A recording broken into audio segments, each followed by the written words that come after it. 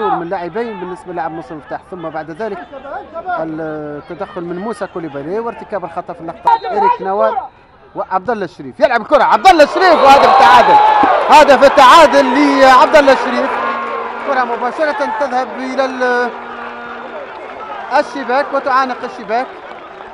والفرحة مع المدرب المساعد ناصر بن حاج.